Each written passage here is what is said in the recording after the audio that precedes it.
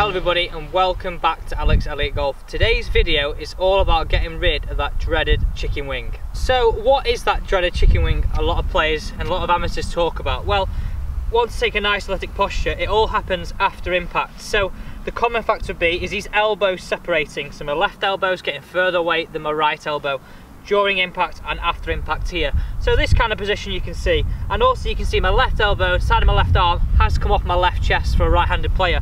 So the common factor chicken wing is left elbow off the body and the left elbow getting further away from the right. Now, if you looked at this from down the line, you'd see this position here. You'd see that my left elbow before you see my club head. So the club is being dragged to the left, not being nicely released down the target line. So again, just to summarise, if you are a person that has a chicken wing and this is you, you would see impact the left elbow for a right-handed player getting further away from the right and this gap and this area here forming between the left part of my chest and my left arm and elbow. So if you're a person that struggles with this dreaded chicken wing and this impact like you can see here, I'll predominantly see a lot of misses off to the right. Now, this is due to basically causing this face to predominantly stay open during impact, but also, not only will you misses off to the right, you generally won't hit the ball as far as you should. So, you're not swinging the golf club at its maximum potential, so your maximum potential club head speed, whatever that may be. This chicken wing is definitely limiting your club speed, limiting how good you can strike the golf ball, and therefore, overall, is how far you're going to hit the ball and how accurate and consistent you're going to be. So, let's address this, and let's get that dreaded chicken wing out of your golf game. We're going to talk through two drills of how we're going to get this dreaded chicken wing out of your golf game.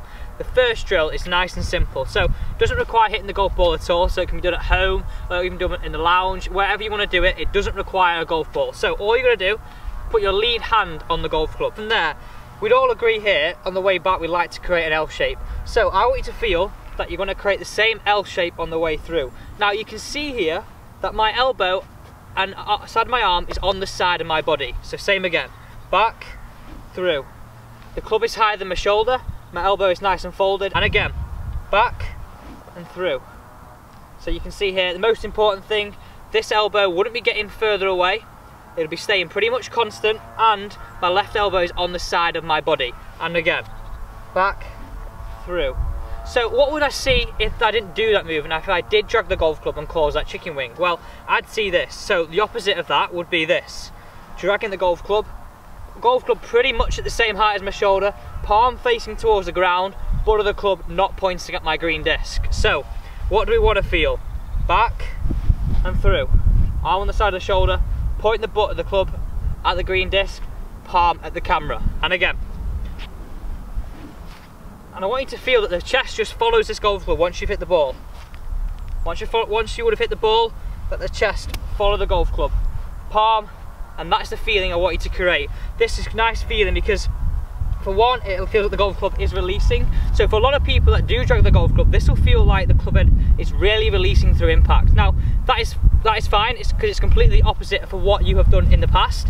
So what I want you to do is let's train it in there, here, and here. Now, the key thing here is, and why a lot of people struggle doing this, is grip pressure. I mean, I feel like I haven't got really a lot of grip pressure on here. Nice and light in my hand, so if I had to say, if it was out of 10, 10 being like I was strangling it, zero being that I wasn't holding the club at all, I'd say mine was five or six here. So nice and loose in the arms, let that club head release, arm on the side of the body, simply point the butt of the club after impact down at the green disc. So, drill number one, like we said earlier, if we can get this golf club releasing and get rid of this chicken wing in our golf game, we're going to create some more club head speed. Now, this is really simple to demonstrate to everybody here.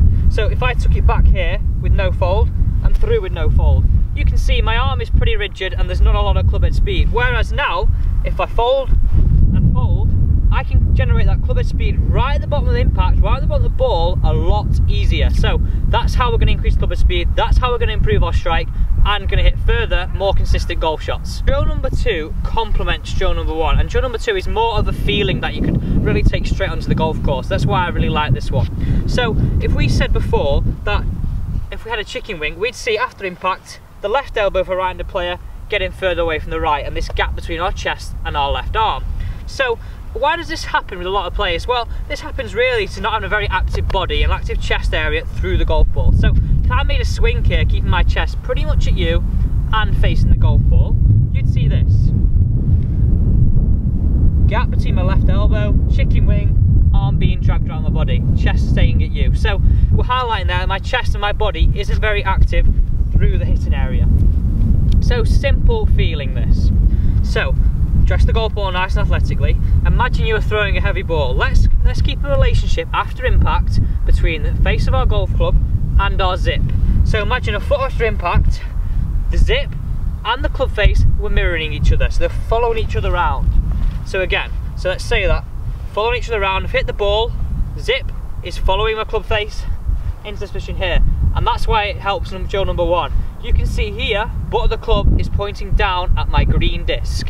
And again, so my feeling here, get the zip to follow the golf ball and keep in a relationship with my club face. Into the nice position here, and again. Now you can see here the relationship with my zip is following my club face, but most importantly, this arm, my left arm, my lead arm for a right-handed player, is staying on the side of my body, so we're not getting that chicken wing. So again, let's link this back to club head speed. We're going to generate some more club head speed, more consistent impact, and overall, we're going to hit some better golf shots. So let's highlight that one more time. Don't have an active body, and zip doesn't follow the club face. Get a chicken wing. Simply, zip and club face are connected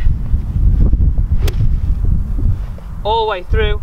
Nice rotations with the left forearm, pointing down at our green disc, and we've released this golf club without chicken wing in the golf club. Talked about stages, drill number one will be our first stage. Getting the feeling of this left arm folding, but the club pointing down at my green disc. Moving it on to a more of a real situation and a feeling to take out onto the golf course is drill number two. That's where the zip and the club face are connected. Let them follow each other, but the club points down. One more time, back and through.